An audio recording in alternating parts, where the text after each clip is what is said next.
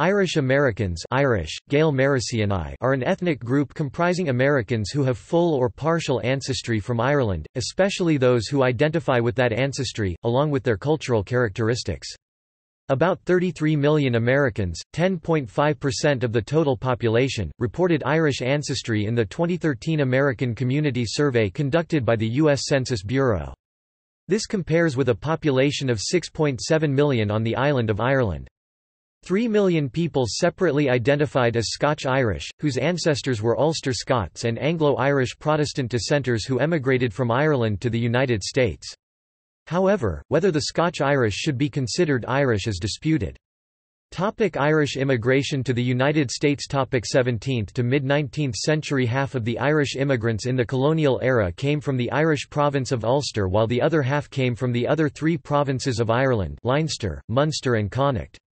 There is no way to determine how many of these early settlers were of native Irish ancestry or descend from the Ulster plantation. Although Michael J. O'Brien examined many of the muster rolls from the Revolutionary War and found mostly quintessential native Irish surnames and possible anglicised Irish surnames, he estimated that some 38% of those in the Revolutionary Army were Irish. Most descendants of the Protestant Irish today identify their ancestry as simply American or Irish. They were descendants of native Irish, Scottish and English. The terms Scotch-Irish, Scots-Irish was utilized in the 19th century to differentiate between Protestant Irish and the later arriving Catholic Irish. The Scots-Irish were tenant farmers who had been settled in Ireland by the British government during the 17th century plantation of Ulster. An estimated 250,000 migrated to the United States during the colonial era. Approximately 20,000 of those immigrants from Ireland during this period were Catholics. Catholics numbered 30,000 or 1.6% of the total population of 2 million in 1765. In 1756, a Maryland Father Superior estimated 7,000 practicing Catholics in Maryland and 3,000 in Pennsylvania. Dale Taylor, The Writer's Guide to Everyday Life in Colonial America from 1607 to 1783, 1997, p. 273 ISBN 0-898879-772. The Williamsburg Foundation estimates in 1765 Maryland Catholics at 20,000 and 6,000 in Pennsylvania. The Colonial Williamsburg Foundation, Catholics in British America, the population of these colonies was approximately 180,000 and 200,000 in 1765. Most of those in Maryland were of English descent, but there were Irish Catholic immigrants and transported convicts. Many of the Catholics on Pennsylvania were German, not Irish. However religious numbers should be noted in context that at this period of time the Roman Catholic religion was proscribed and discouraged, and that many Protestants are descendants of Catholics by logical definition. The Scots-Irish settled mainly in the colonial back country of the Appalachian Mountain region, and became the prominent ethnic strain in the culture that developed there. The descendants of Scots-Irish settlers had a great influence on the later culture of the southern United States in particular and the culture of the United States in general through such contributions as American folk music, country and western music, and stock car racing, which became popular throughout the country in the late 20th century. Irish immigrants of this period participated in significant numbers in the American Revolution, leading one British Major General to testify at the House of Commons that half the rebel Continental Army were from Ireland. Irish Americans signed the foundational documents of the United States—the Declaration of Independence and the Constitution—and, beginning with Andrew Jackson, served as president. The early Ulster immigrants and their descendants at first usually referred to themselves simply as Irish without the qualifier, Scotch. It was not until more than a century later, following the surge in Irish immigration after the Great Irish Famine of the 1840s, that some descendants of the Protestant Irish began to refer to themselves as Scots-Irish, to distinguish them from the predominantly Catholic, and largely destitute, wave of immigrants from Ireland in that era.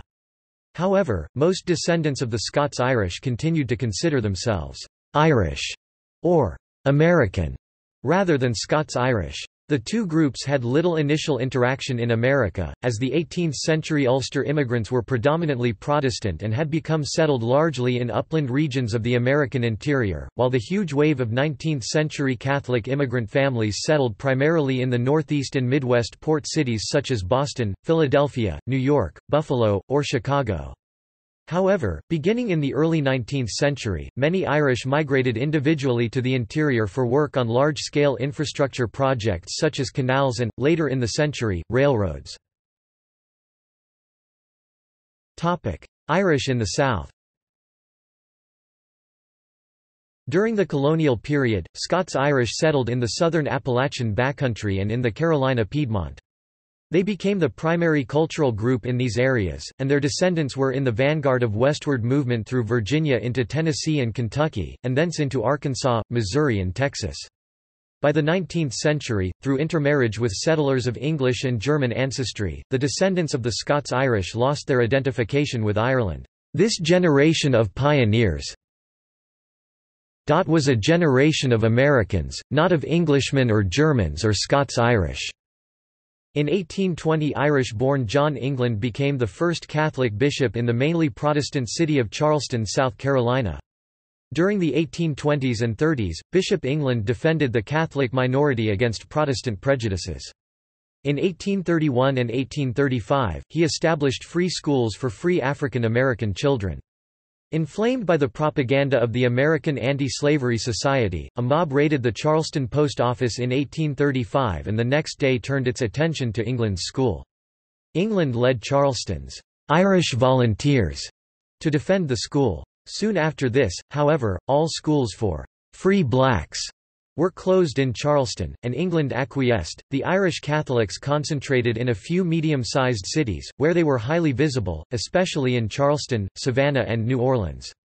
They often became precinct leaders in the Democratic Party organizations, strongly opposed abolition of slavery, and generally favored preserving the Union in 1860. When they voted for Stephen Douglas, after secession in 1861, the Irish Catholic community supported the Confederacy and 20,000 served in the Confederate Army.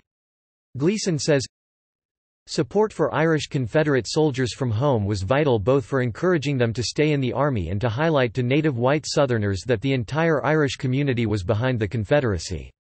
Civilian leaders of the Irish and the South did embrace the Confederate national project and most became advocates of a hard war policy. Irish nationalist John Mitchel lived in Tennessee and Virginia during his exile from Ireland and was one of the South's most outspoken supporters during the American Civil War through his newspapers The Southern Citizen and the Richmond Enquirer. Although most began as unskilled laborers, Irish Catholics in the South achieved average or above average economic status by 1900. David T. Gleeson emphasizes how well they were accepted by society, Native tolerance, however, was also a very important factor in Irish integration into Southern society. Upper-class Southerners, therefore, did not object to the Irish, because Irish immigration never threatened to overwhelm their cities or states. The Irish were willing to take on potentially high mortality occupations, thereby sparing valuable slave property. Some employers objected not only to the cost of Irish labour but also to the rowdiness of their foreign-born employees. Nevertheless, they recognized the importance of the Irish worker to the protection of slavery. The Catholicism practiced by Irish immigrants was of little concern to Southern natives. Mid-19th century and later Irish immigration had greatly increased beginning in the 1820s due to the need for labour in canal building, lumbering, and civil construction works in the northeast. The large Erie Canal project was one such example where Irishmen were many of the laborers. Small but tight communities developed in growing cities such as Philadelphia, Boston, New York and Providence. From 1820 to 1860, 1,956,557 Irish arrived, 75% of these after the Great Irish Famine or the Great Hunger, Irish, and Gorta Mór of 1845 to 1852, struck. Of the total Irish immigrants to the U.S. from 1820 to 1860, many died crossing the ocean due to disease and dismal conditions of what became known as coffin ships. Most Irish immigrants to the United States during this period favored large cities because they could create their own communities for support and protection in a new environment. Another reason for this trend was that many Irish immigrants could not afford to move inland and had to settle close to the ports at which they arrived. Cities with large numbers of Irish immigrants included Boston, Philadelphia, and New York, as well as Pittsburgh, Baltimore, Detroit, Chicago, Cleveland, St. Louis, St. Paul, San Francisco, and Los Angeles. While many Irish did stay near large cities, countless others were part of westward expansion. They were enticed by tales of gold, and by the increasing opportunities for work and land. In 1854, the government opened Kansas Territory to settlers. While many people in general moved to take advantage of the unsettled land, Irish were an important part. Many Irish men were physical laborers. In order to civilize the West, many strong men were needed to build the towns and cities. Kansas City was one city that was built by Irish immigrants. Much of its population today is of Irish descent. Another reason for Irish migration west was the expansion of railroads. Railway work was a common occupation among immigrant men because workers were in such high demand. Many Irish men followed the expansion of railroads, and ended up settling in places that they built in.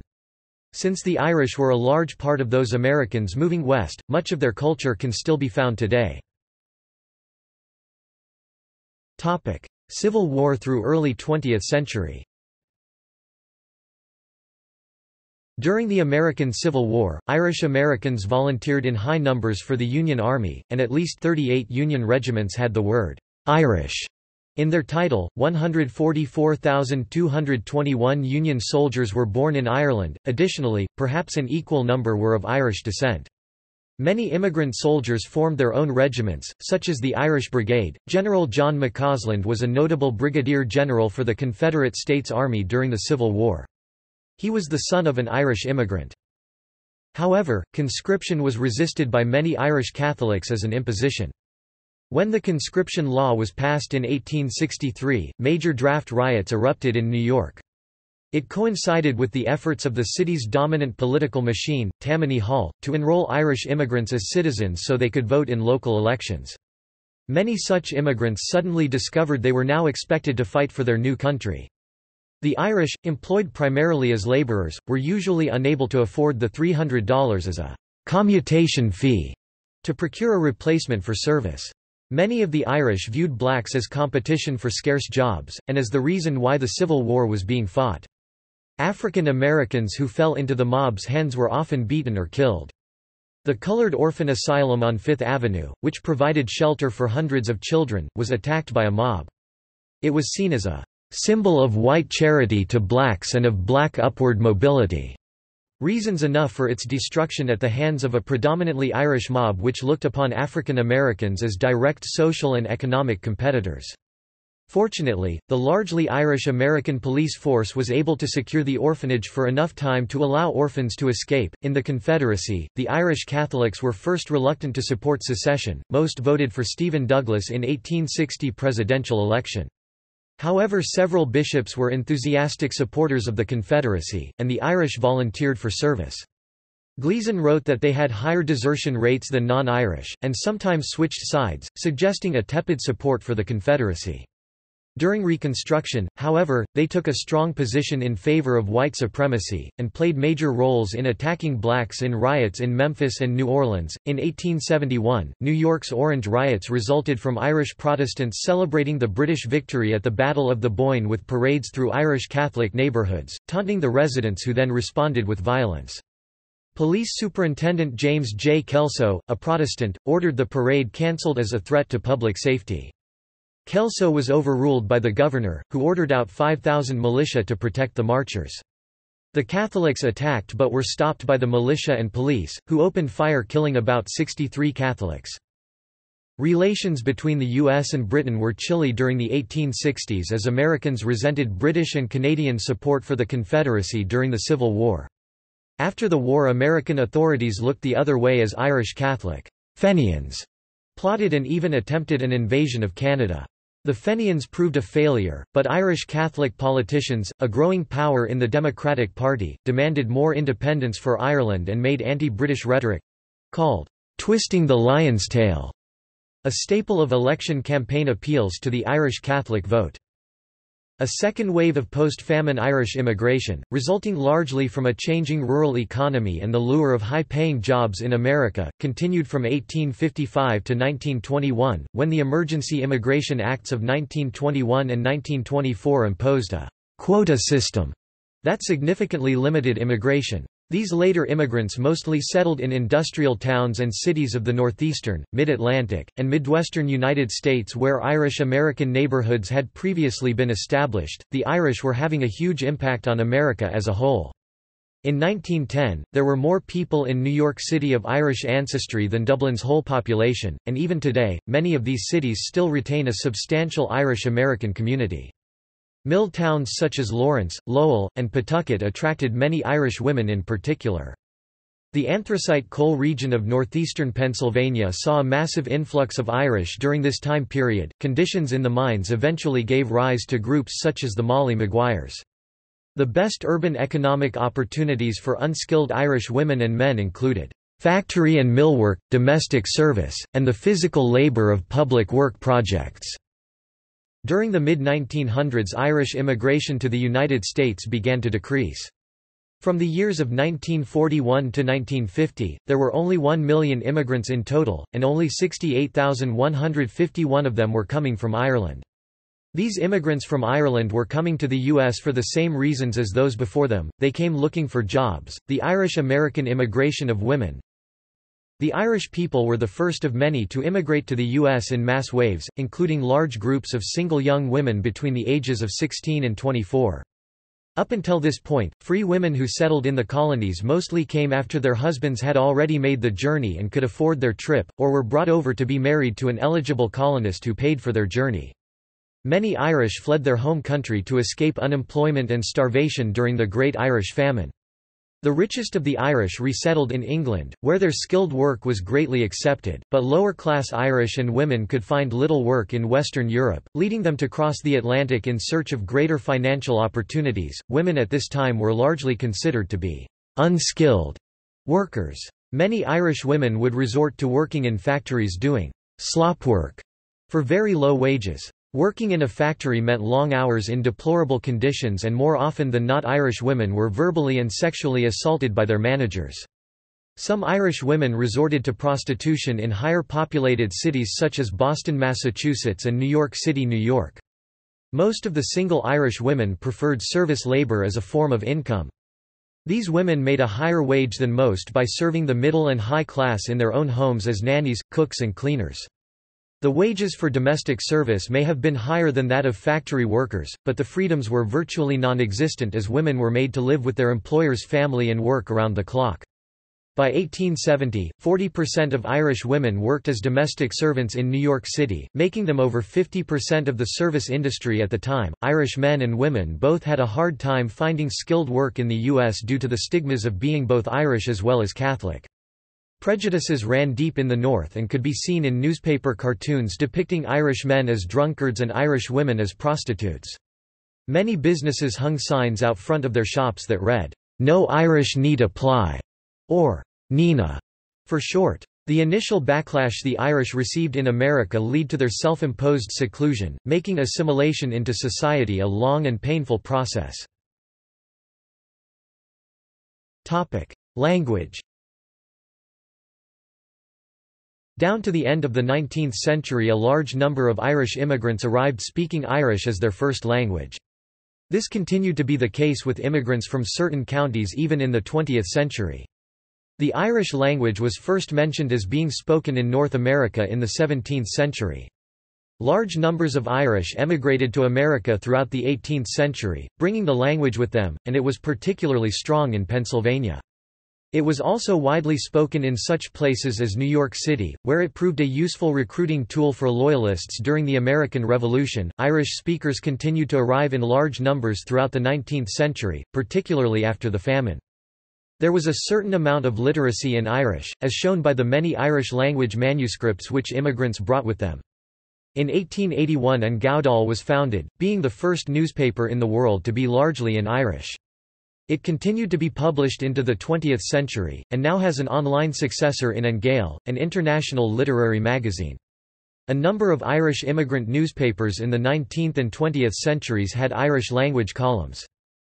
Irish immigrants fell into three linguistic categories, monolingual Irish speakers, bilingual speakers of both Irish and English, and monolingual English speakers.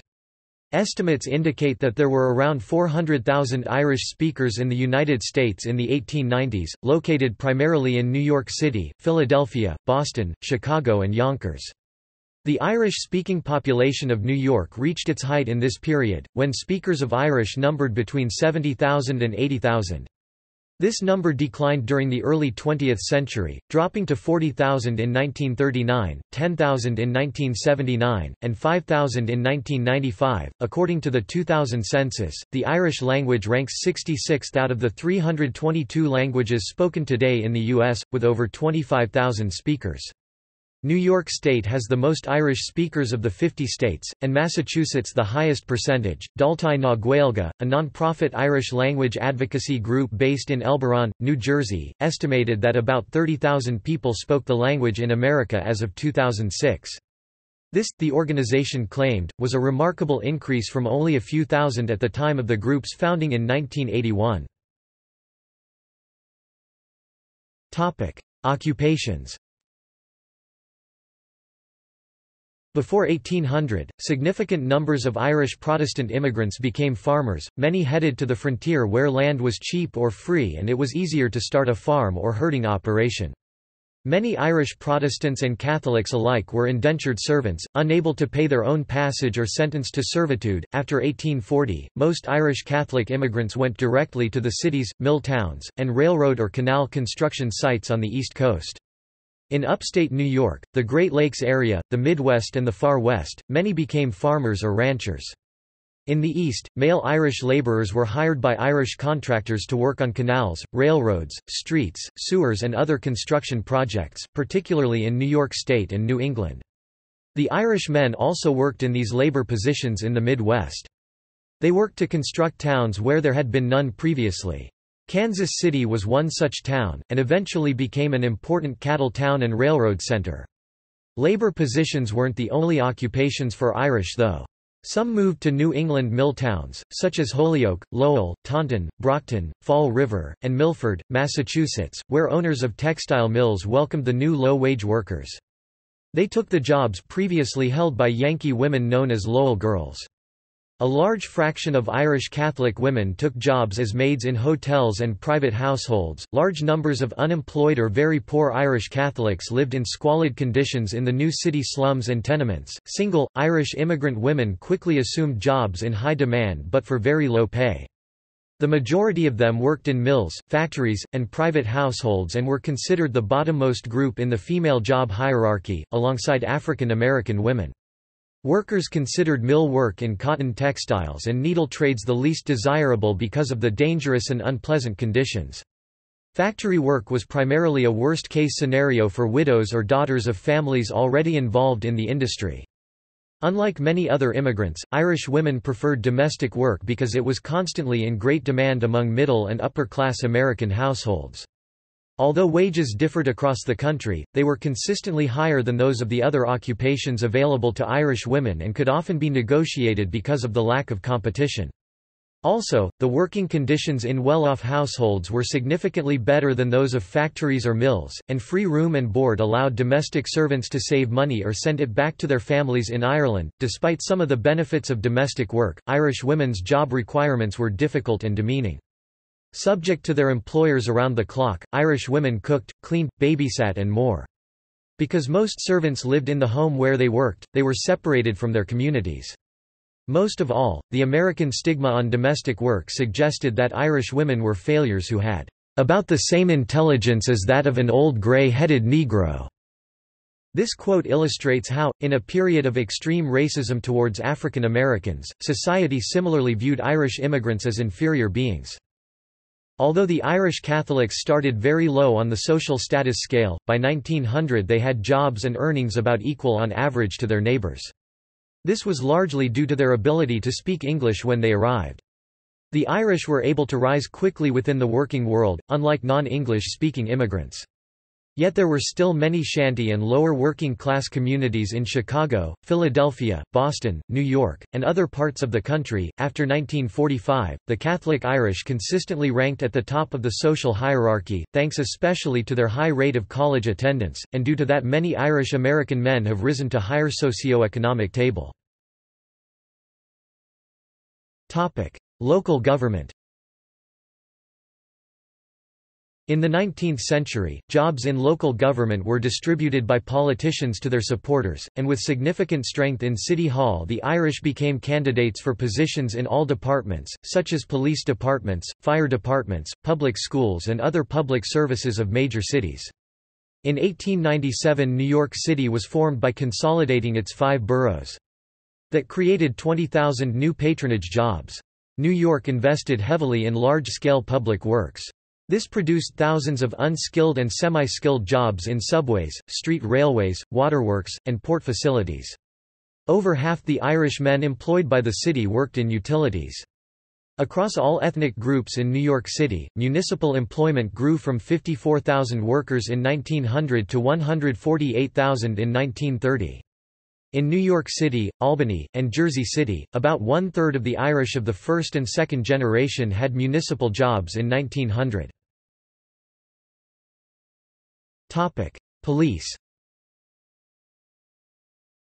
By 1855, according to New York Police Commissioner George W. Matsell (1811–1877), almost 17% of the police department's officers were Irish-born, compared to 28.2% of the city. In a report to the Board of Aldermen of the NYPD's 1,149 men, Irish-born officers made up 304 of 431 foreign-born policemen. In the 1860s more than half of those arrested in New York City were Irish-born or of Irish descent but nearly half of the city's law enforcement officers were also Irish. By the turn of the 20th century, five out of six NYPD officers were Irish-born or of Irish descent. As late as the 1960s, 42% of the NYPD were Irish Americans. Up to the 20th and early 21st century, Irish Catholics continue to be prominent in the law enforcement community, especially in the northeastern United States. The Emerald Society, an Irish-American fraternal organization, was founded in 1953 by the NYPD. When the Boston chapter of the Emerald Society formed in 1973, half of the city's police officers became members. Topic: Teachers. Towards the end of the 19th century, schoolteaching became the most desirable occupation for the second generation of female Irish immigrants. Teaching was similar to domestic work for the first generation of Irish immigrants in that it was a popular job and one that relied on a woman's decision to remain unmarried. The disproportionate number of Irish American Catholic women who entered the job market as teachers in the late 19th century and early 20th century from Boston to San Francisco was a beneficial result of the Irish national school system. Irish schools prepared young single women to support themselves in a new country, which inspired them to instill the importance of education, college training, and a profession in their American-born daughters even more than in their sons. Evidence from schools in New York City illustrate the upward trend of Irish women as teachers. As early as 1870, 20% of all schoolteachers were Irish women, and less than pre greater than slash pre greater than dot dot dot by 1890 Irish females comprised two-thirds of those in the Sixth Ward schools. Irish women attained admirable reputations as schoolteachers, which enabled some to pursue professions of even higher stature. Nuns Upon arrival in the United States, many Irish women became Catholic nuns and participated in the many American sisterhoods, especially those in St. Louis in Missouri, St. Paul in Minnesota, and Troy in New York. Additionally, the women who settled in these communities were often sent back to Ireland to recruit. This kind of religious lifestyle appealed to Irish female immigrants because they outnumbered their male counterparts and the Irish cultural tendency to postpone marriage often promoted gender separation and celibacy. Furthermore, the Catholic Church, clergy, and women religious were highly respected in Ireland, making the sisterhoods particularly attractive to Irish immigrants. Nuns provided extensive support for Irish immigrants in large cities, especially in fields such as nursing and teaching but also through orphanages, widows' homes, and housing for young, single women in domestic work. Although many Irish communities built parish schools run by nuns, the majority of Irish parents in large cities in the East enrolled their children in the public school system, where daughters or granddaughters of Irish immigrants had already established themselves as teachers. Religion Religion has been important to the Irish American identity in America, and continues to play a major role in their communities. Irish Americans today are predominantly Protestant with a Catholic minority. The Protestants' ancestors arrived primarily in the colonial era, while Catholics are primarily descended from immigrants of the 19th century. Irish leaders have been prominent in the Catholic Church in the United States for over 150 years. The Irish have been leaders in the Presbyterian and Methodist traditions, as well. Surveys in the 1990s show that of Americans who identify themselves as Irish, 51% said they were Protestant and 36% identified as Catholic. In the South, Protestants account for 73% of those claiming Irish origins, while Catholics account for 19%. In the North, 45% of those claiming Irish origin are Catholic, while 39% are Protestant.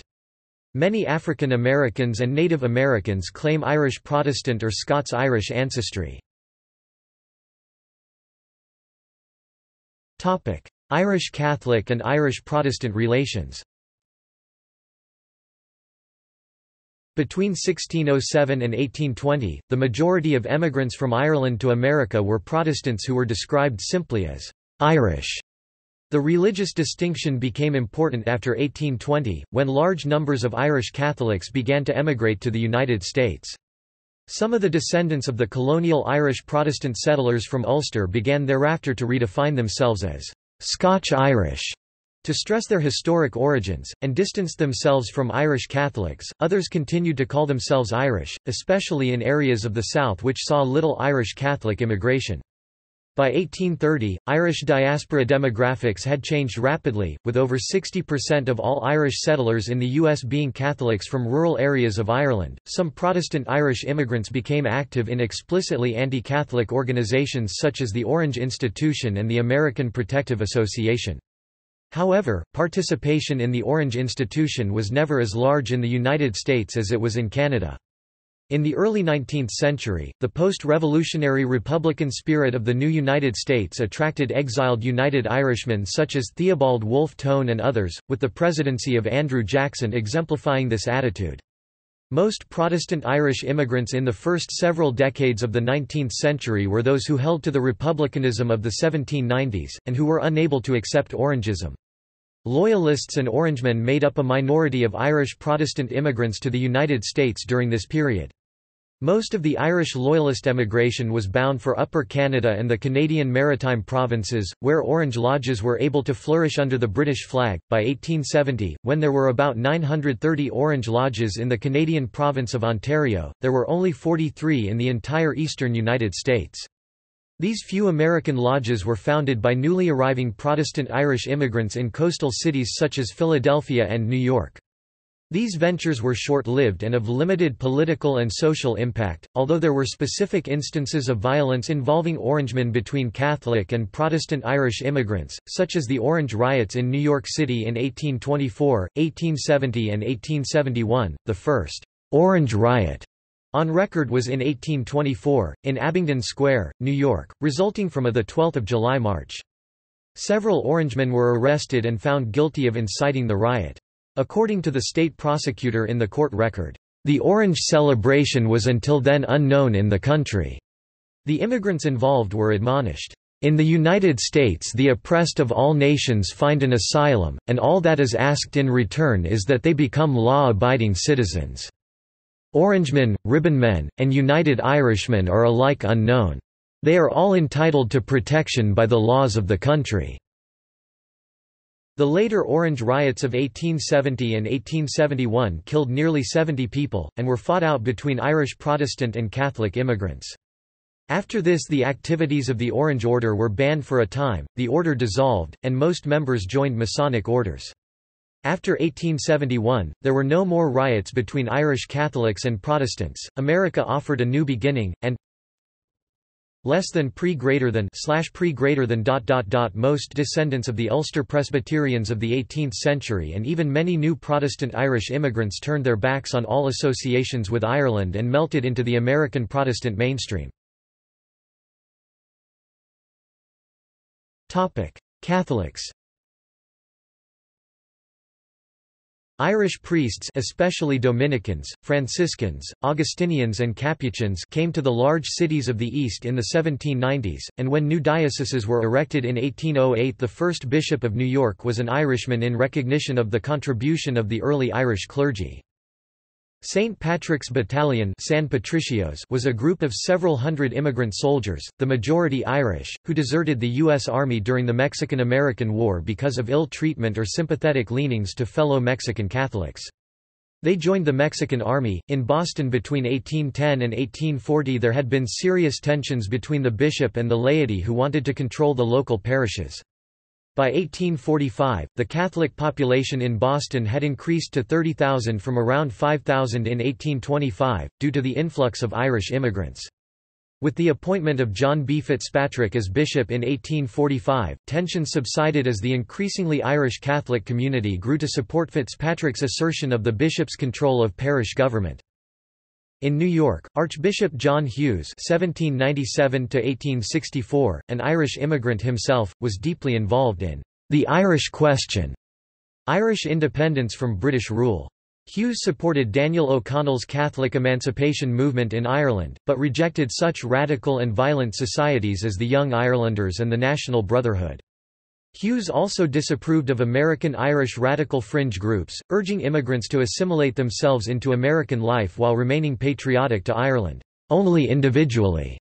In Hughes's view, a large-scale movement to form Irish settlements in the western United States was too isolationist and ultimately detrimental to immigrant success in the New World. In the 1840s, Hughes crusaded for public-funded Irish schools modeled after the successful Irish public school system in Lowell, Massachusetts. Hughes denounced the Public School Society of New York as an extension of an old world struggle whose outcome was directed not by understanding of the basic problems but, rather, by mutual mistrust and violently inflamed emotions. For Irish Catholics, the motivation lay largely in memory of British oppression, while their antagonists were dominated by the English Protestant historic fear of papal interference in civil affairs. Because of the vehemence of this quarrel, the New York legislature passed the Maclay Act in 1842, giving New York City an elective board of education empowered to build and supervise schools and distribute the education fund—but with the proviso that none of the money should go to schools which taught religion. Hughes responded by building an elaborate parochial school system that stretched to the college level, setting a policy followed in other large cities. Efforts to get city or state funding failed because of vehement Protestant opposition to a system that rivaled the public schools. In the West, Catholic Irish were having a large effect as well. The open West attracted many Irish immigrants. Many of these immigrants were Catholic. When they migrated west, they would form little pockets with other Irish immigrants. Irish Catholic communities were made in supportive, village-style neighbourhoods centred around a Catholic church and called parishes. These neighbourhoods affected the overall lifestyle and atmosphere of the communities. Other ways religion played a part in these towns was the fact that many were started by Irish Catholic priests. Father Bernard Donnelly started, "'Town of Kansas", which would later become Kansas City. His influence over early stages Kansas City was great, and so the Catholic religion was spread to other settlers who arrived. While not all settlers became Catholics, a great number of the early settlers were Catholic. In other Western communities, Irish priests wanted to convert the Native Americans to Catholicism. These Catholic Irish would contribute not only to the growth of Catholic population in America, but to the values and traditions in America. Jesuits established a network of colleges in major cities, including Boston College, Fordham University in New York, and Georgetown University in Washington, D.C. Fordham was founded in 1841 and attracted students from other regions of the United States, and even South America and the Caribbean. At first exclusively a liberal arts institution, it built a science building in 1886, lending more legitimacy to science in the curriculum there. In addition, a three-year Bachelor of Science degree was created. Boston College, by contrast, was established over 20 years later in 1863 to appeal to urban Irish Catholics. It offered a rather limited intellectual curriculum, however, with the priests at Boston College prioritizing spiritual and sacramental activities over intellectual pursuits. One consequence was that Harvard Law School would not admit Boston College graduates to its law school. Modern Jesuit leadership in American academia was not to become their hallmark across all institutions until the 20th century. The Irish became prominent in the leadership of the Catholic Church in the U.S. by the 1850s. By 1890 there were 7.3 million Catholics in the U.S. and growing, and most bishops were Irish. As late as the 1970s, when Irish were 17% of American Catholics, they were 35% of the priests and 50% of the bishops, together with a similar proportion of presidents of Catholic colleges and hospitals. Protestants The Scots-Irish who settled in the back country of colonial America were largely Presbyterians. The establishment of many settlements in the remote back country put a strain on the ability of the Presbyterian Church to meet the new demand for qualified, college-educated clergy. Religious groups such as the Baptists and Methodists did not require higher education of their ministers, so they could more readily supply ministers to meet the demand of the growing Scots-Irish settlements. By about 1810, Baptist and Methodist churches were in the majority, and the descendants of the Scotch-Irish today remain predominantly Baptist or Methodist. They were avid participants in the revivals taking place during the Great Awakening from the 1740s to the 1840s. They take pride in their Irish heritage because they identify with the values ascribed to the Scotch-Irish who played a major role in the American Revolution and in the development of American culture. Presbyterians The first Presbyterian community in America was established in 1640 in Southampton, Long Island, New York.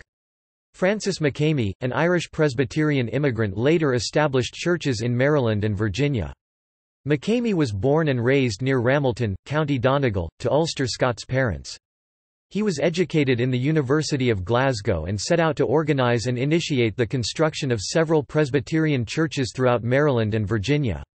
By 1706, Makemie and his followers constructed a Presbyterian church in Rehoboth, Maryland. In 1707, after traveling to New York to establish a presbytery, Francis Makemie was charged with preaching without a license by the English immigrant and governor of New York, Edward Hyde. Makemie won a vital victory for the fight of religious freedom for Scots-Irish immigrants when he was acquitted and gained recognition for having stood up to Anglican authorities. Makemie became one of the wealthiest immigrants to colonial America, owning more than 5,000 acres and 33 slaves. New Light Presbyterians founded the College of New Jersey, later renamed Princeton University, in 1746 in order to train ministers dedicated to their views. The college was the educational and religious capital of Scots-Irish America. By 1808, loss of confidence in the college within the Presbyterian Church led to the establishment of the separate Princeton Theological Seminary, but deep Presbyterian influence at the college continued through the 1910s, as typified by University President Woodrow Wilson. Out on the frontier, the Scots-Irish Presbyterians of the Muskingum Valley in Ohio established Muskingum College at New Concord in 1837. It was led by two clergymen, Samuel Wilson and Benjamin Waddell, who served as trustees, president, and professors during the first few years. During the 1840s and 1850s the college survived the rapid turnover of very young presidents who used the post as a stepping stone in their clerical careers, and in the late 1850s it weathered a storm of student protest. Under the leadership of L. B. W. Shryock during the Civil War, Muskingum gradually evolved from a local and locally controlled institution to one serving the entire Muskingum Valley. It is still affiliated with the Presbyterian Church. Brought up in a Scots-Irish Presbyterian home, Cyrus McCormick of Chicago developed a strong sense of devotion to the Presbyterian Church. Throughout his later life, he used the wealth gained through invention of the mechanical reaper to further the work of the Church. His benefactions were responsible for the establishment in Chicago of the Presbyterian Theological Seminary of the Northwest after his death renamed the McCormick Theological Seminary of the Presbyterian Church. He assisted the Union Presbyterian Seminary in Richmond, Virginia. He also supported a series of religious publications, beginning with the Presbyterian Expositor in 1857 and ending with the Interior later called the Continent, which his widow continued until her death. Methodists Irish immigrants were the first immigrant group to America to build and organize Methodist churches. Many of the early Irish immigrants who did so came from a German-Irish background. Barbara Heck, an Irish woman of German descent from County Limerick, Ireland, immigrated to America in 1760, with her husband, Paul. She is often considered to be the mother of American Methodism. Heck guided and mentored her cousin, Philip Embury, who was also an Irish Palatine immigrant. Heck and Embury constructed the John Street Methodist Church, which today is usually recognized as the oldest Methodist church in the United States. However, another church constructed by prominent Irish Methodist immigrant, Robert Strawbridge, may have preceded the John Street Methodist Church. Discrimination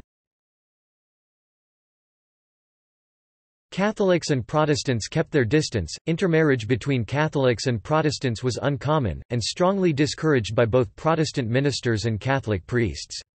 As Dolan notes, Mixed marriages, as they were called, were allowed in rare cases, were warned against repeatedly, and were uncommon. Rather, intermarriage was primarily with other ethnic groups who shared their religion. Irish Catholics, for example, would commonly intermarry with German Catholics or Poles in the Midwest and Italians in the Northeast. Irish-American journalists scoured the cultural landscape for evidence of insults directed at the Irish in America. Much of what historians know about hostility to the Irish comes from their reports in Irish and in democratic newspapers. While the parishes were struggling to build parochial schools, many Catholic children attended public schools. The Protestant King James Version of the Bible was widely used in public schools, but Catholics were forbidden by their church from reading or reciting from it. Many Irish children complained that Catholicism was openly mocked in the classroom. In New York City, the curriculum vividly portrayed Catholics, and specifically the Irish, as villainous. The Catholic Archbishop John Hughes, an immigrant to America from County Tyrone, Ireland, campaigned for public funding of Catholic education in response to the bigotry. While never successful in obtaining public money for private education, the debate with the city's Protestant elite spurred by Hughes' passionate campaign paved the way for the secularization of public education nationwide. In addition, Catholic higher education expanded during this period with colleges and universities that evolved into such institutions as Fordham University and Boston College providing alternatives to Irish who were not otherwise permitted to apply to other colleges. Prejudice against Irish Catholics in the U.S. reached a peak in the mid-1850s with the Know Nothing movement, which tried to oust Catholics from public office. After a year or two of local success, the Know Nothing Party vanished. Some historians, however, maintain that actual job discrimination was minimal. Many Irish work gangs were hired by contractors to build canals, railroads, city streets, and sewers across the country. In the South, they underbid slave labor. One result was that small cities that served as railroad centers came to have large Irish populations. In 1895, the Knights of Equity was founded, to combat discrimination against Irish Catholics in the U.S., and to assist them financially when needed. Topic stereotypes Irish Catholics were popular targets for stereotyping in the 19th century. According to historian George Potter, the media often stereotyped the Irish in America as being boss-controlled, violent both among themselves and with those of other ethnic groups, voting illegally, prone to alcoholism and dependent on street gangs that were often violent or criminal. Potter quotes contemporary newspaper images, you will scarcely ever find an Irishman dabbling in counterfeit money, or breaking into houses, or swindling, but if there is any fighting to be done, he is very apt to have a hand in it, even though Pat might meet with a friend and for love knock him down, noted a Montreal paper. The fighting usually resulted from a sudden excitement, allowing there was but little malice prepense in his whole composition. The Catholic Telegraph of Cincinnati in 1853, saying that the name of Irish has become identified in the minds of many, with almost every species of outlawry, distinguished the Irish vices as not of a deep malignant nature, arising rather from the transient burst of undisciplined passion, like drunk, disorderly, fighting, etc., not like robbery, cheating, swindling, counterfeiting, slandering, calumniating, blasphemy, using obscene language, and c. The Irish had many humorists of their own, but were scathingly attacked in political cartoons, especially those in Puck magazine from the 1870s to 1900. It was edited by secular Germans who opposed the Catholic Irish in politics. In addition, the cartoons of Thomas Nast were especially hostile, for example, he depicted the Irish-dominated Tammany Hall machine in New York City as a ferocious tiger. The stereotype of the Irish as violent drunks has lasted well beyond its high point in the mid-19th century. For example, President Richard Nixon once told advisor Charles Colson that, "T he Irish have certain for example, the Irish can't drink. What you always have to remember with the Irish is they get mean. Virtually every Irish I've known gets mean when he drinks. Particularly the real Irish." Discrimination against Irish Americans differed depending on gender. For example, Irish women were sometimes stereotyped as reckless breeders because some American Protestants feared high Catholic birth rates would eventually result in a Protestant minority. Many native-born Americans claimed that their incessant childbearing would ensure an Irish political takeover of American cities and that Catholicism would become the reigning faith of the hitherto Protestant nation. Irish men were also targeted, but in a different way than women were. The difference between the Irish female, Bridget, and the Irish male, Pat, was distinct, while she was impulsive but fairly harmless, he was always drunk, eternally fighting, lazy, and shiftless. In contrast to the view that Irish women were shiftless, slovenly and stupid like their male counterparts, girls were said to be industrious, willing, cheerful, and honest. They work hard, and they are very strictly moral. There were also Darwinian-inspired excuses for the discrimination of the Irish in America. Many Americans believed that since the Irish were Celts and not Anglo-Saxons, they were racially inferior and deserved second-hand citizenship. The Irish being of inferior intelligence was a belief held by many Americans. This notion was held due to the fact that the Irish topped the charts demographically in terms of arrests and imprisonment. They also had more people confined to insane asylums and poorhouses than any other group. The racial supremacy belief that many Americans had at the time contributed significantly to Irish discrimination. Sense of heritage Many people of Irish descent retain a sense of their Irish heritage. Article 2 of the Constitution of Ireland formally recognises and embraces this fact. The Irish nation cherishes its special affinity with people of Irish ancestry living abroad who share its cultural identity and heritage. Irish independence from Great Britain encouraged the hope that descendants of Irish abroad who had retained a cultural connection and identified with Ireland would resettle there, as opposed to attracting immigrants from other cultures in other countries. One member of an Irish government of the early republic expressed his hope as follows I do not think the Irish Free State will afford sufficient allurements to the citizens of other states. The children of Irish parents born abroad are sometimes more Irish than the Irish themselves, and they would come with added experience and knowledge to our country. 4 equals sen. Patrick Kenny, Seanad Éireann 1924 a sense of exile, diaspora, and in the case of songs even nostalgia is a common theme. The modern term, plastic paddy, generally refers to someone who was not born in Ireland and is separated from his closest Irish-born ancestor by several generations but still considers themselves Irish. It is occasionally used in a derogatory fashion towards Irish Americans, in an attempt to undermine the Irishness of the Irish diaspora based on nationality and citizenship rather than ethnicity. The term is freely applied to relevant people of all nationalities, not solely Irish Americans. Some Irish Americans were enthusiastic supporters of Irish independence. The Fenian Brotherhood movement was based in the United States and in the late 1860s launched several unsuccessful attacks on British controlled Canada known as the Fenian Raids. The Provisional IRA received significant funding and volunteers for its paramilitary activities from Irish expatriates and Irish American supporters.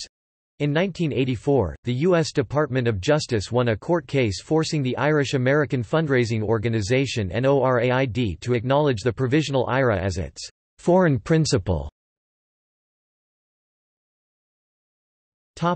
Cities Irish Catholic Americans settled in large and small cities throughout the north, particularly railroad centers and mill towns. They became perhaps the most urbanized group in America, as few became farmers. Areas that retain a significant Irish American population include the metropolitan areas of Boston, Philadelphia, Providence, Hartford, Pittsburgh, Buffalo, Baltimore, New York City, Chicago, Cleveland, San Francisco and Los Angeles, where most new arrivals of the 1830–1910 period settled. As a percentage of the population, Massachusetts is the most Irish state, with about a fifth, 21.2%, of the population claiming Irish descent. The most Irish American towns in the United States are Scituate, Massachusetts, with 47.5% of its residents being of Irish descent, Milton, Massachusetts, with 44.6% of its 26,000 being of Irish descent, and Braintree, Massachusetts with 46.5% of its 34,000 being of Irish descent, Weymouth, Massachusetts, at 39% of its 54,000 citizens, and Quincy, Massachusetts, at 34% of its population of 90,000 are the two most Irish cities in the country. Squantum, a peninsula in the northern part of Quincy, is the most Irish neighborhood in the country, with close to 60% of its 2,600 residents claiming Irish descent. Philadelphia, Boston, New York, and Chicago have historically had neighborhoods with higher percentages of Irish American residents. Regionally, the most Irish American states are Massachusetts, New Hampshire, Maine, Vermont, Rhode Island, Delaware, Pennsylvania, and Connecticut, according to the U.S. Census Bureau American Community Survey in 2013. In consequence of its unique history as a mining center, Butte, Montana, is also one of the country's most thoroughly Irish American cities. Smaller towns, such as Greeley, Nebraska population 466, with an estimated 51.7% of the residents identifying as Irish American as of 2009-13 were part of the Irish Catholic colonization effort of Bishop O'Connor of New York in the 1880s. The states with the top percentages of Irish. Massachusetts 22.5%, New Hampshire 20.5%, Rhode Island 18.4%, Maine 18.0%, Vermont 18.0%, Delaware 16.7%, Pennsylvania 16.6%, Connecticut 16.6%, New Jersey 15.9%, West Virginia 14.8%, Montana 14.8%, Iowa 13.6%, Ohio 13.5%, Nebraska 13.4%, Wyoming 13.3%, Missouri 13.2%, New York 12.9%, Kansas 12.4%, Illinois 12.2%, Colorado 12.2%,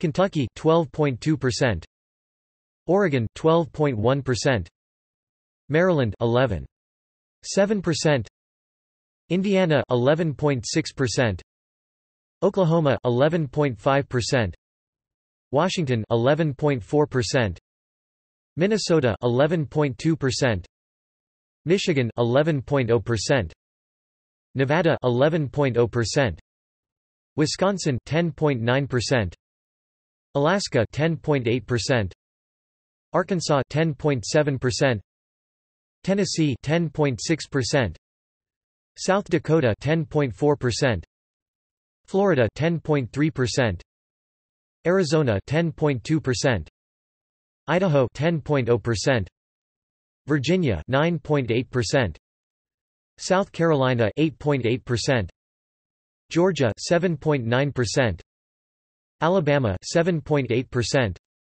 California 7.7%, North Dakota 7.7%, North Carolina 7.5%, Texas 7.2%, Louisiana 7.0%, Mississippi 6.9%, Utah 5.9%, District of Columbia 5.5%.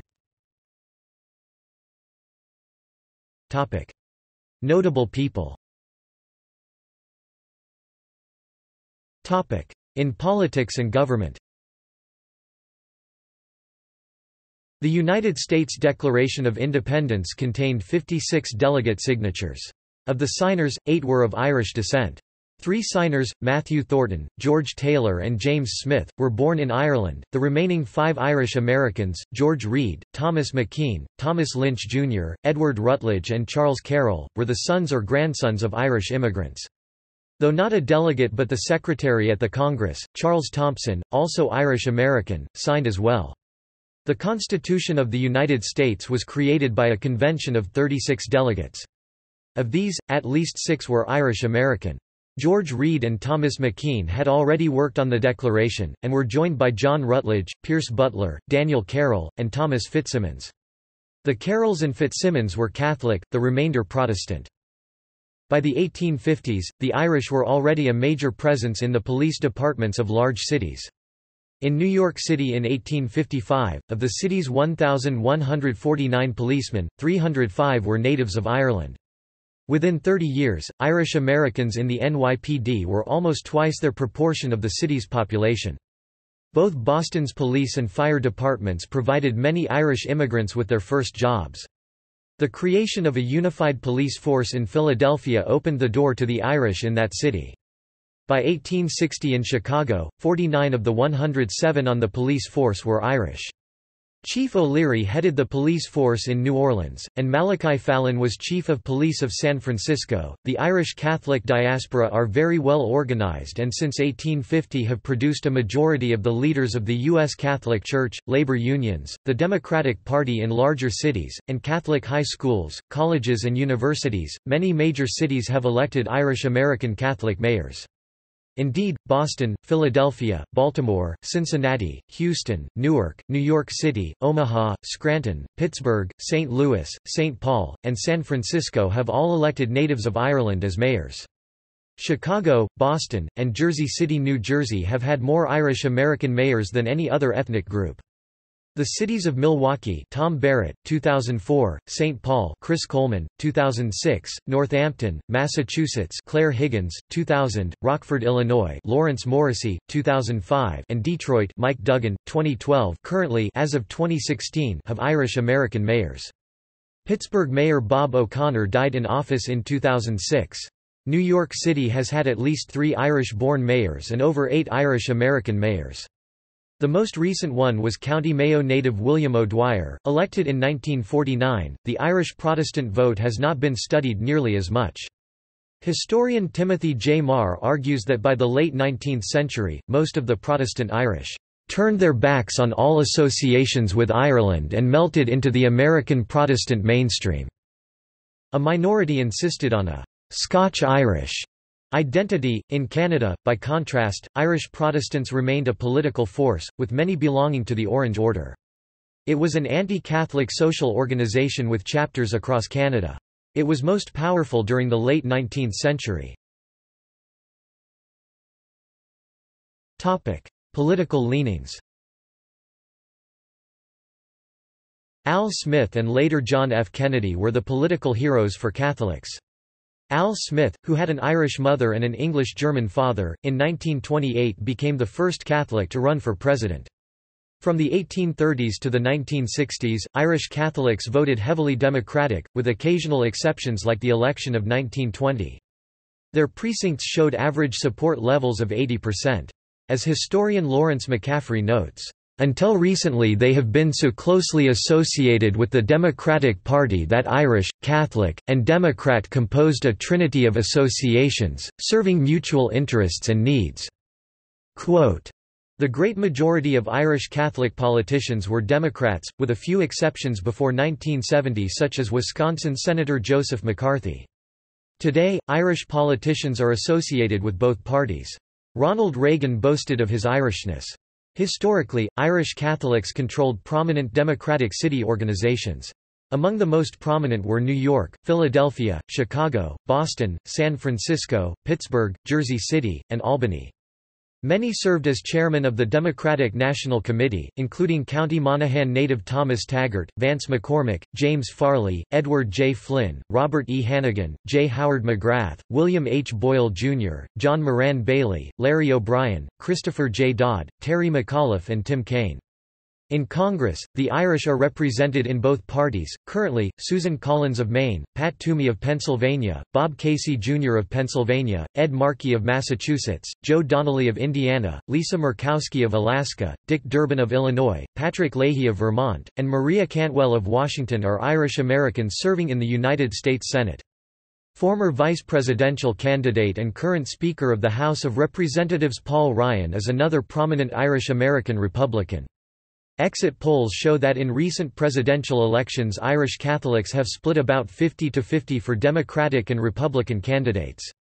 The pro-life faction in the Democratic Party includes many Irish Catholic politicians, such as the former Boston mayor and ambassador to the Vatican Ray Flynn and Senator Bob Casey, Jr., who defeated Senator Rick Santorum in a high-visibility race in Pennsylvania in 2006.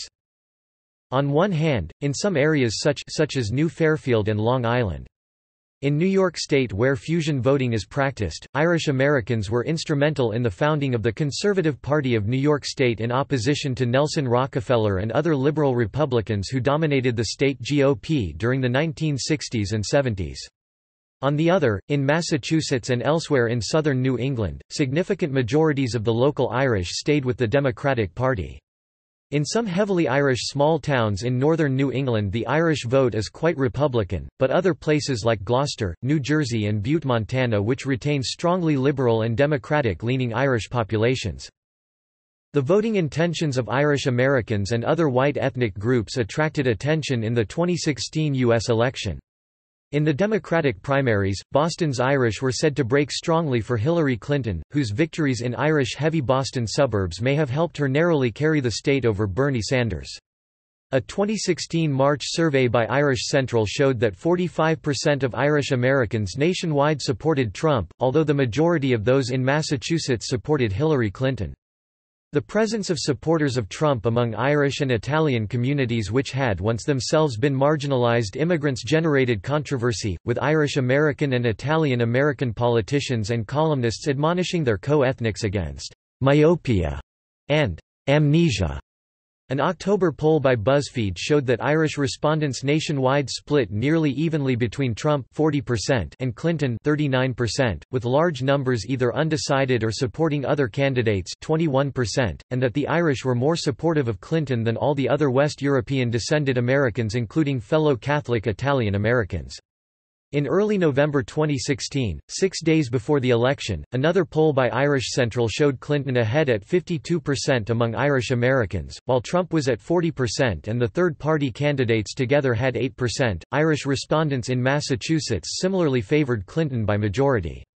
In the official 2016 election results, Irish-heavy Boston suburbs including on the South Shore witnessed swings to the left Scituate, plus 19.5% D, Cohasset, plus 32.8% D, Milton, plus 26.6% D, etc. even as the country as a whole moved right.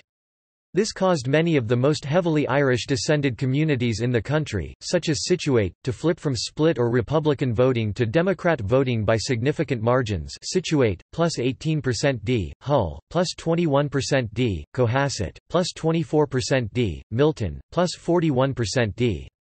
Despite voting against Trump, many of these same communities had some of the highest levels of opposition to the legalization of marijuana, a typically socially conservative position. In 2017, a survey with 3,181 Irish American respondents, slightly over half being beyond third generation, by Irish Times found that 41% identified as Democrats while 23% identified as Republicans, while 45% used NBC, typically considered left-leaning, for their news while 36% percent used Fox News considered right-leaning. Topic: American presidents with Irish ancestry. A number of the presidents of the United States have Irish origins. The extent of Irish heritage varies. For example, Chester Arthur's father and both of Andrew Jackson's parents were Irish-born, while George W. Bush has a rather distant Irish ancestry. Ronald Reagan's father was of Irish ancestry, while his mother also had some Irish ancestors. John F. Kennedy had Irish lineage on both sides. Within this group, only Kennedy was raised as a practicing Roman Catholic. Barack Obama's Irish heritage originates from his Kansas-born mother, Ann Dunham, whose ancestry is Irish and English. Andrew Jackson Ulster Scots 7th President 1829–37, he was born in the predominantly Irish and Scotch-Irish Waxhaws area of South Carolina two years after his parents left Boneybefore, near Carrickfergus in County Antrim. A heritage centre in the village pays tribute to the legacy of Old Hickory, the people's president. Andrew Jackson then moved to Tennessee, where he served as governor. James Knox Polk Ulster Scots 11th President, 1845–49, his ancestors were among the first Ulster Scots settlers, emigrating from Coleraine in 1680 to become a powerful political family in Mecklenburg County, North Carolina. He moved to Tennessee and became its governor before winning the presidency.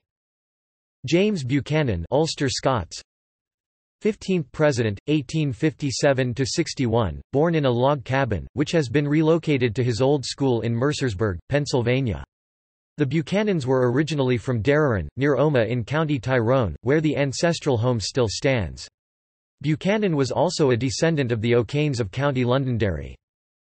Andrew Johnson Ulster Scots 17th President, 1865–69, his mother was a MacDonagh, his grandfather left Mounthill, near Larne in County Antrim around 1750 and settled in North Carolina. Johnson worked there as a tailor and ran a successful business in Greeneville, Tennessee, before being elected vice president. He became president following Abraham Lincoln's assassination. Ulysses S. Grant Ulster Scots 18th President, 1869–77, the home of his maternal great-grandfather, John Simpson, at Dergina, County Tyrone, is the location for an exhibition on the eventful life of the victorious Civil War commander who later served two terms as president. Grant visited his ancestral homeland in 1878.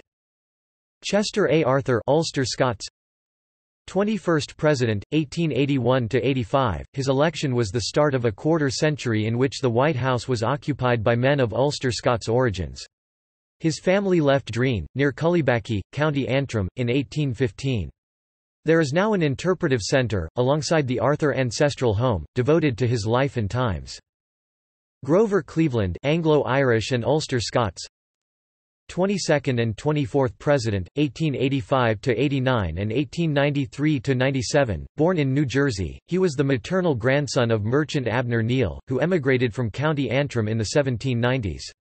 He is the only president to have served non-consecutive terms. Benjamin Harrison Ulster Scots 23rd President, 1889–93, his mother, Elizabeth Irwin, had Ulster Scots roots through her two great-grandfathers, James Irwin and William McDowell. Harrison was born in Ohio and served as a brigadier general in the Union Army before embarking on a career in Indiana politics which led to the White House.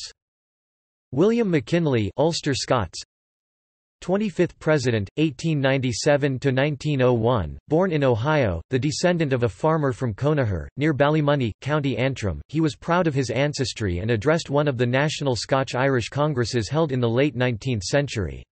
His second term as president was cut short by an assassin's bullet. Theodore Roosevelt Ulster Scots 26th President, 1901–09, his mother, Mittie Bulloch, had Ulster Scots ancestors who emigrated from Gleno, County Antrim, in May 1729. Roosevelt praised Irish Presbyterians as a bold and hardy race. However, he is also the man who said, but a hyphenated American is not an American at all. This is just as true of the man who puts native before the hyphen as of the man who puts German or Irish or English or French before the hyphen. Roosevelt was referring to political nativists, not American Indians, in this context. William Howard Taft Ulster Scots 27th President 1909 to 13. his great-great-great-grandfather, Robert Taft was born in 1640 in Ireland and immigrated to America, during the mid-17th century.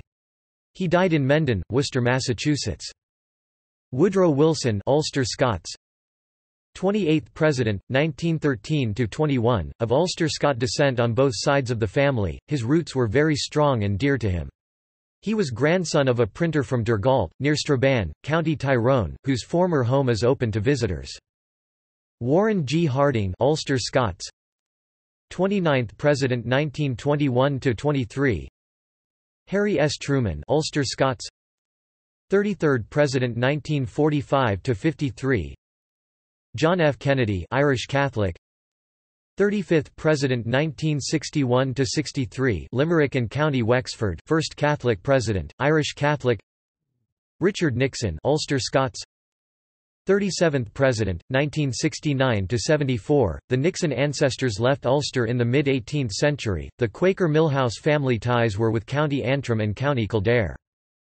Jimmy Carter Ulster Scots 39th President 1977–1981 County Antrim and County Londonderry, one of his maternal ancestors, Brandon McCain, emigrated from County Londonderry to America in 1810. Ronald Reagan Irish Catholic 40th President 1981–89, he was the great-grandson, on his father's side, of Irish migrants from County Tipperary who came to America via Canada and England in the 1840s. His mother was of Scottish and English ancestry. George H. W. Bush Anglo-Irish 41st President 1989–93 County Wexford, historians have found that his now apparent ancestor, Richard de Clare, Earl of Pembroke, shunned by Henry II, offered his services as a mercenary in the 12th-century Norman invasion of Wexford in exchange for power and land. Strongbow married Aoife, daughter of Dermot McMurrough, the Gaelic king of Leinster. Bill Clinton 42nd President 1993–2001, he claims Irish ancestry despite there being no documentation of any of his ancestors coming from Ireland.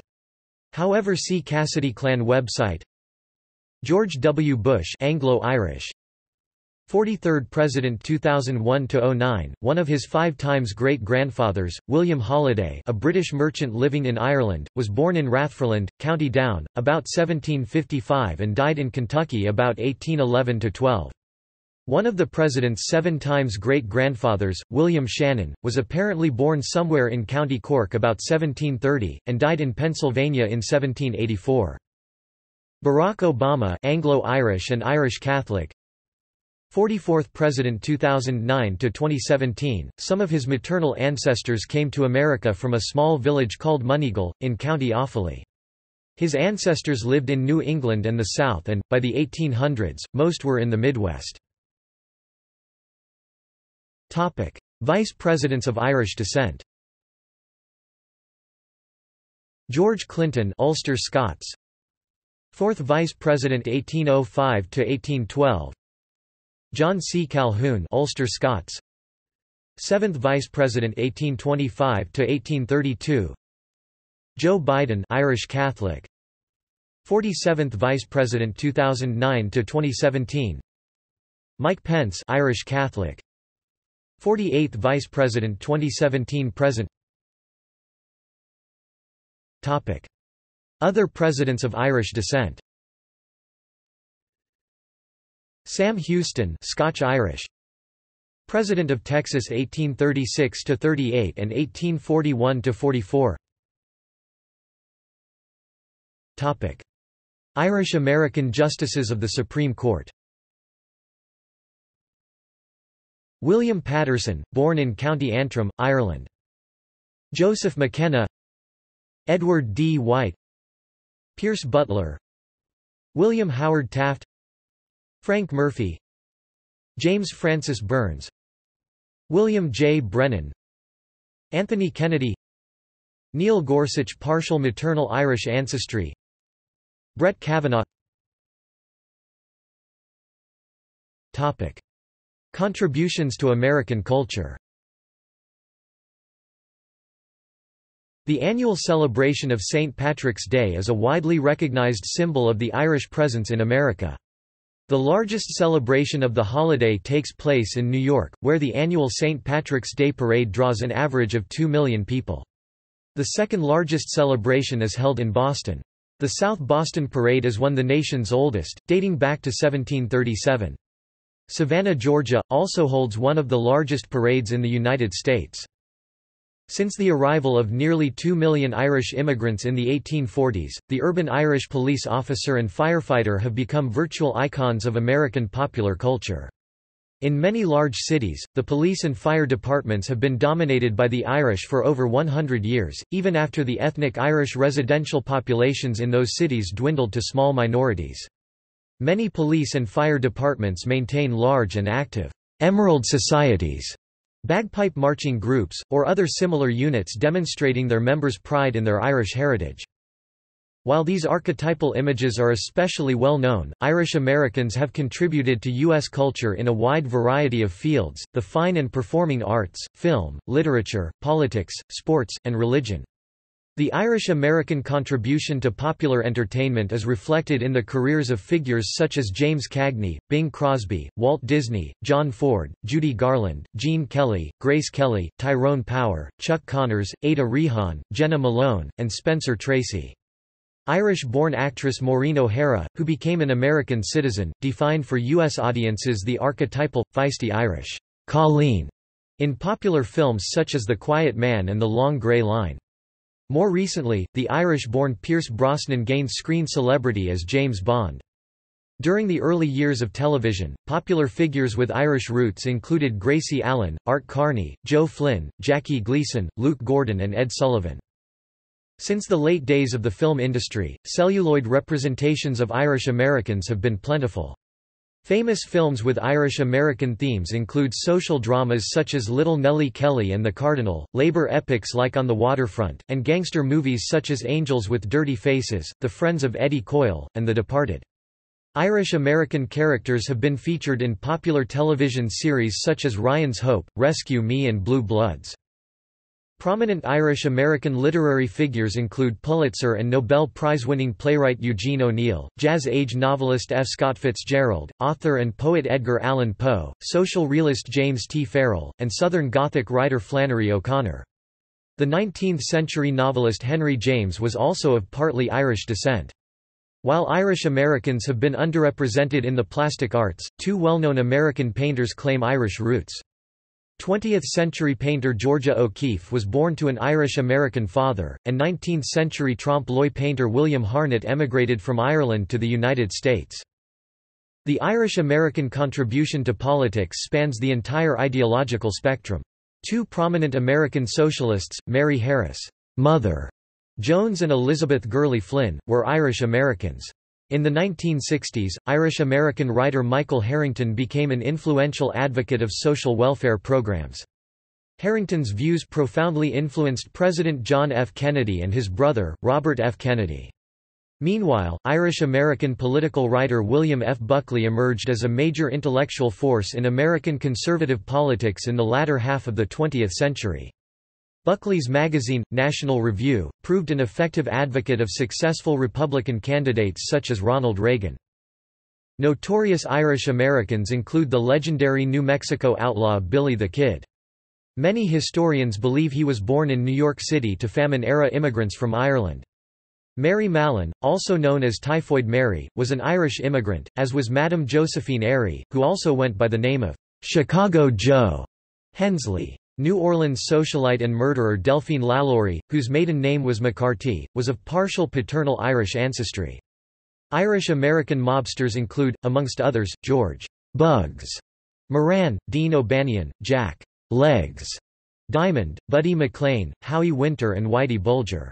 Lee Harvey Oswald, the assassin of John F. Kennedy, had an Irish-born great-grandmother by the name of Mary Tonery. Colorful Irish Americans also include Margaret Tobin of RMS Titanic fame, scandalous model Evelyn Nesbit, dancer Isadora Duncan, San Francisco Madame Tessie Wall, and Nellie Cashman, nurse and gold prospector in the American West. The wide popularity of Celtic music has fostered the rise of Irish American bands that draw heavily on traditional Irish themes and music. Such groups include New York City's Black 47, founded in the late 1980s, blending punk rock, rock and roll, Irish music, rap, hip-hop, reggae, and soul, and the Dropkick Murphys, a Celtic punk band formed in Quincy, Massachusetts, nearly a decade later.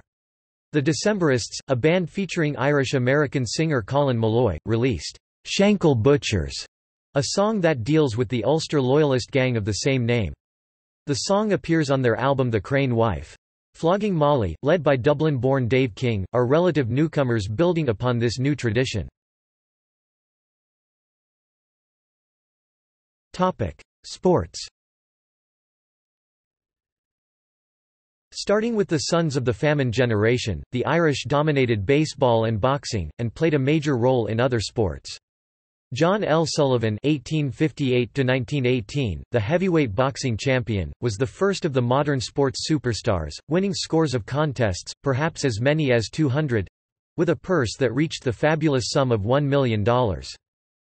Famous in their day were NFL quarterbacks and Super Bowl champions John Elway and Tom Brady, NBA forward Rick Barry, tennis greats Jimmy Connors and John McEnroe, baseball pitcher Nolan Ryan, baseball shortstop Derek Jeter, basketball point guard Jason Kidd, boxing legend Jack Dempsey, world champion pro surfer Kelly Slater, national champion skier Ryan Max Riley, and legendary golfer Ben Hogan.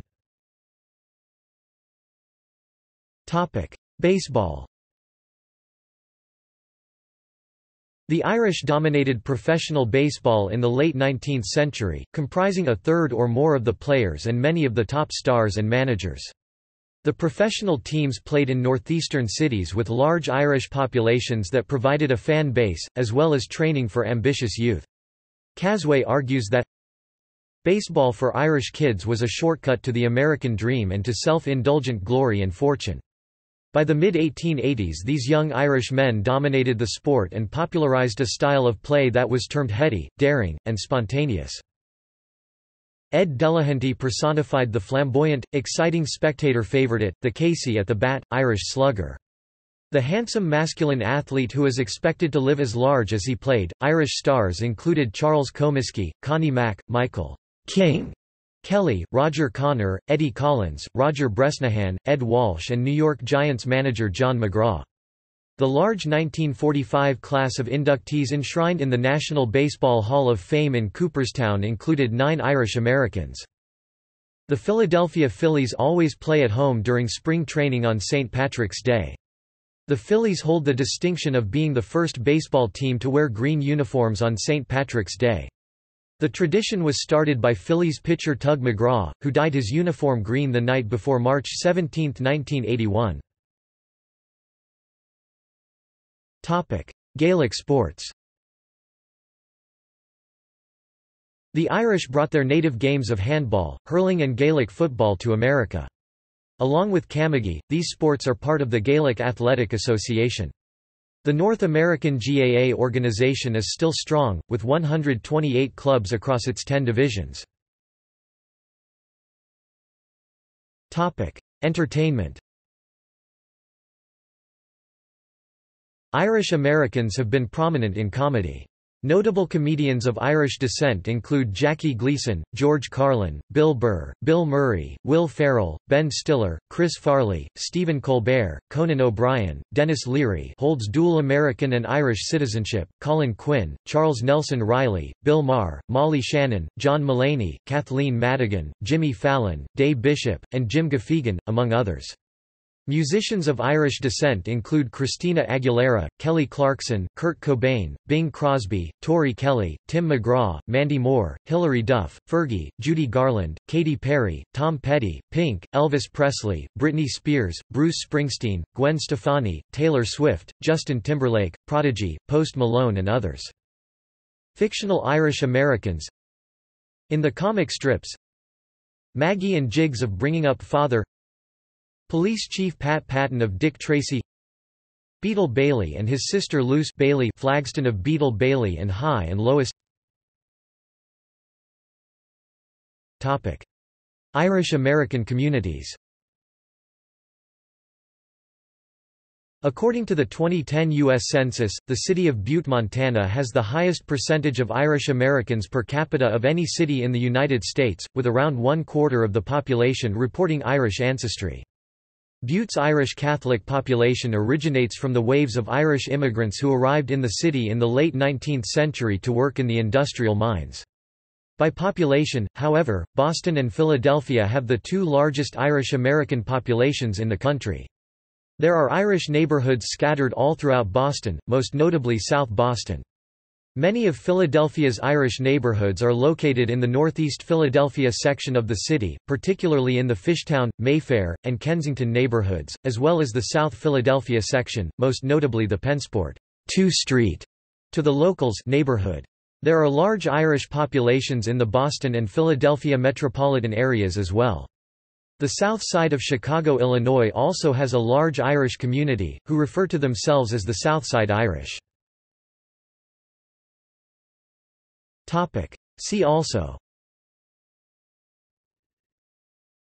69th Infantry Regiment New York. Ethnocultural politics in the United States. Irish American Athletic Club. Irish American Cultural Institute. Irish American Heritage Month. Irish Brigade US Irish Mob, criminals in large cities Irish Race Conventions, 19th-century international conventions. Irish Whales, athletes. List of Americans of Irish descent, notable individuals. List of Irish American Medal of Honor recipients. St. Patrick's Battalion, Mexican-American War. List of Irish American Medal of Honor recipients. Topic. Notes Other sources. Corrigan, Michael, Confessions of a Shanty Irishman, 2014, virtual bookworm, ebook and audio book. ISBN 978-1602642973 Topic. Further reading. References Barkan, Elliot Robert, ed. 2001. Making It in America, a sourcebook on eminent ethnic Americans. ABC Clio, CS1 maint, multiple names, authors list link CS1 maint, extra text, authors list link Byrne, James Patrick, Philip Coleman, and Jason Francis King, eds. Ireland and the Americas, Culture, Politics, and History, a multidisciplinary encyclopedia 3-volume ABC Clio, 2008 Glazier, Michael, ed. 1999. The Encyclopedia of the Irish in America. Notre Dame, Indiana, University of Notre Dame Press. ISBN 0-268-02755-2 General surveys Fanning, Charles 1990–2000. The Irish Voice in America, 250 Years of Irish-American Fiction. Lexington, The University of Kentucky Press. ISBN 0-8131-0970-1 Glynn, Irial, Emigration Across the Atlantic, Irish, Italians and Swedes Compared, 1800–1950, European History Online, Mainz, Institute of European History, 2011, retrieved, June 16, 2011. Jenkins, William 2013. Between Raid and Rebellion, The Irish in Buffalo and Toronto, 1867–1916. Montreal, McGill Queen's University. Kenny, Kevin 2000. The American Irish, A History. New York, Longman, 2000. Template, ISBN 13-978-0582278172 McGee, Thomas D'Arcy 1852. A History of the Irish Settlers in North America from the Earliest Period to the Census of 1850 Meagher, Timothy J. 2005. The Columbia Guide to Irish American History. New York, Columbia University Press. ISBN 978-0-231-12070-8 Merriweather Nay Green, Kath 2009. The Irish Rossiter, Ancestors and Their Worldwide Descendants and Connections. Bristol, UK, Irish Ancestors 4U.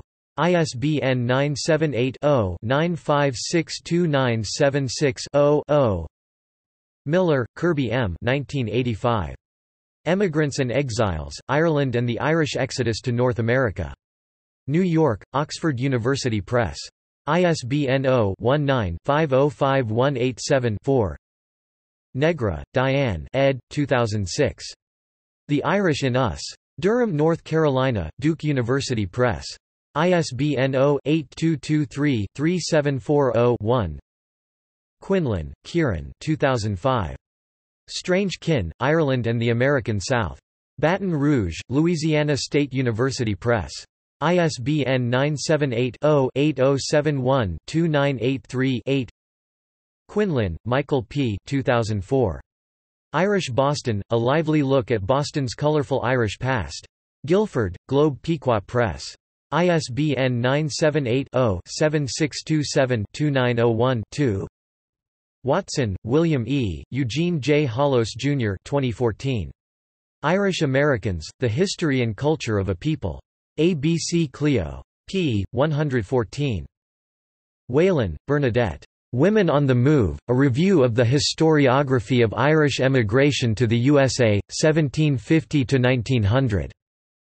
Women's History Review 24.6 2015, 900–916. Catholic Irish Anbinder, Tyler 2002. Five Points, the 19th-century New York City neighborhood that invented tap dance, stole elections and became the world's most notorious slum. New York, Plume ISBN 0-452-28361-2 Anbinder, Tyler. Moving Beyond Rags to Riches, New York's Irish Famine Immigrants and Their Surprising Savings Accounts. Journal of American History 99 December 2012, 741–70. Bayor, Ronald, Meagher, Timothy eds. 1997 The New York Irish. Baltimore, University of Johns Hopkins Press. ISBN 0-8018-5764-3. Blessing, Patrick J. 1992. The Irish in America, A Guide to the Literature and the Manuscript Editions. Washington, D.C., Catholic University of America Press. ISBN 0-8132-0731-2 Clark, Dennis 1982. The Irish in Philadelphia, Ten Generations of Urban Experience 2nd ed. Philadelphia, Temple University Press. ISBN 0-87722-227-4 English, T.J. 2005.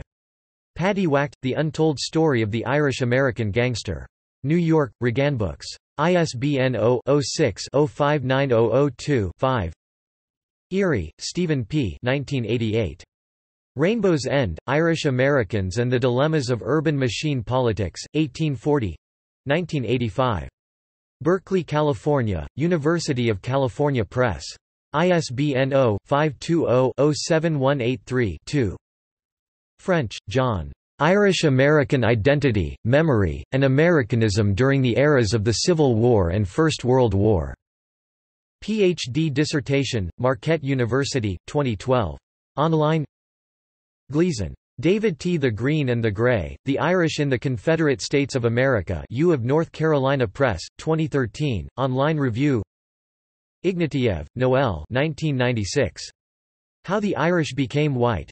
New York, Routledge. ISBN 0-415-91825-1 Jensen, Richard, 2002. No Irish Need Apply, A Myth of Victimization. Journal of Social History 36.2 pp. 405–429 online Kenny, Kevin. Abraham Lincoln and the American Irish. American Journal of Irish Studies 2013, 39–64. Kenny, Kevin 2000. The American Irish, A History. New York, Longman, 2000. Template, ISBN 13-978-0582278172 McCaffrey, Lawrence J. 1976. The Irish Diaspora in America. Washington, D.C., Catholic University of America ISBN 0-8132-0896-3 McKelvey, Blake. The Irish in Rochester and Historical Retrospect. Rochester History 19-1-16, online, on Rochester, New York Meagher, Timothy J. 2000. Inventing Irish America, Generation, Class, and Ethnic Identity in a New England City, 1880–1928. Notre Dame, Indiana, University of Notre Dame Press. ISBN 0-268-03154-1 Mitchell, Brian C. 2006. The Paddy Camps, The Irish of Lowell, 1821–61. Champaign, Illinois, University of Illinois Press. ISBN 0-252-07338-X Mulrooney, Margaret M. ed. 2003. Fleeing the Famine, North America and Irish Refugees, 1845–1851. New York, Praeger Publishers. ISBN 0-275-97670-X Knobel, Dale T. 1986. Paddy and the Republic, Ethnicity and Nationality in Antebellum America. Middletown, Connecticut, Wesleyan University Press. ISBN 0-8195-6167-3 O'Connor, Thomas H. 1995. The Boston Irish, A Political History. Old Saybrook, Connecticut, Konecki and Konecki. ISBN 978-1-56852-620-1 O'Donnell, L. A. 1997. Irish Voice and Organized Labor in America, A Biographical Study. Westport, Connecticut, Greenwood Press. Rogers, James Silas and Matthew J. O'Brien, eds. After the Flood, Irish America, 1945–1960 2009, specialized essays by scholars Sim, David, 2013 A Union Forever, The Irish Question and U.S. Foreign Relations in the Victorian Age Cornell University Press, 2013 topic Protestant Irish Blaustein, Richard. The Thistle and the Briar, Historical Links and Cultural Parallels Between Scotland and Appalachia 2003. Blethen, Tyler, Wood, Curtis W. Jr., Blethen, H. Tyler eds. 1997. Ulster and North America, Transatlantic Perspectives on the Scotch-Irish. Tuscaloosa, Alabama, University of Alabama Press. ISBN 0-8173-0823-7 Cunningham, Roger 1991. Apples on the Flood, Minority Discourse in Appalachia. Knoxville, Tennessee, University of Tennessee Press. ISBN 0-87049-629-8 Fischer, David Hackett 1991. Albion Seed, Four British Folkways in America. New York, Oxford University Press USA. ISBN 0-19-506905-6 Ford, Henry Jones 1915. The Scotch-Irish in America. Full text online. Griffin, Patrick 2001. The People with No Name, Ireland's Ulster Scots, America's Scots-Irish, and the Creation of a British Atlantic World, 1689–1764. Princeton, New Jersey, Princeton University Press. ISBN 0-691-07462-3 Kenny, Kevin 2000. The American Irish, A History. New York, Longman, 2000. Template, ISBN 13-978-0582278172 Leyburn, James G. 1989. The Scotch-Irish, A Social History. Chapel Hill, University of North Carolina Press. ISBN 0-8078-4259-1 Lorle, Porter 1999. A People Set Apart, The Scotch-Irish in Eastern Ohio. Zanesville, Ohio, Equine Graphics Publishing. ISBN 1-887932-75-5 McWhiney, Grady 1988. Cracker Culture, Celtic Ways in the Old South. Tuscaloosa, University of Alabama Press. ISBN 0-8173-0328-6 Ray, Celeste. Highland Heritage, Scottish Americans in the American South 2001. Webb, James H. 2004.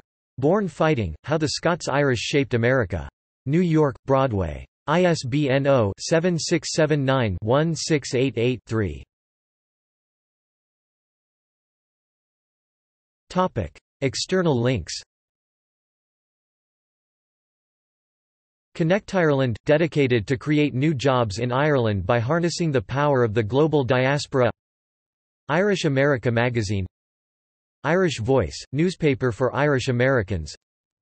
The Boston Irish Emigrant the New York Irish Emigrant Irish Immigration Center of Philadelphia Ancient Order of Hibernians IMDb.com Irish American The Ireland Funds The Eire Society of Boston Philadelphia Irish Bars Philadelphia Police and Fire Pipes and Drums Philadelphia Emerald Society Philadelphia Emerald Society Pipe Band Philadelphia 2nd Street Irish Society.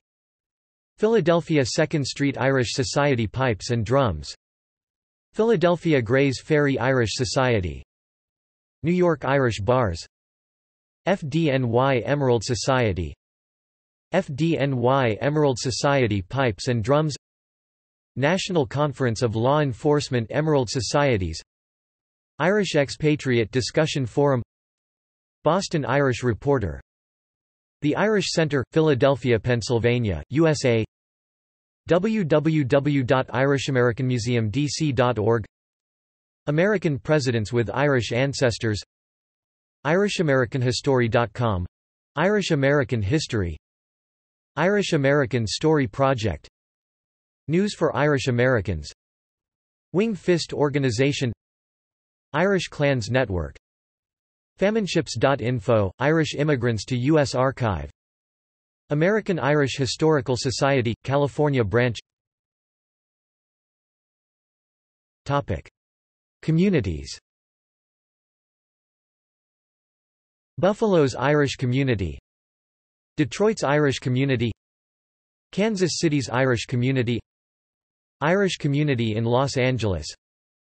Omaha's Irish Community Irish Philadelphia Philadelphia Society of the Friendly Sons of St. Patrick Pittsburgh Irish Network Boston Irish Tourism Association Boston Irish Heritage Trail Philadelphia Irish Famine Memorial Boston Irish Famine Memorial Irish Pennsylvania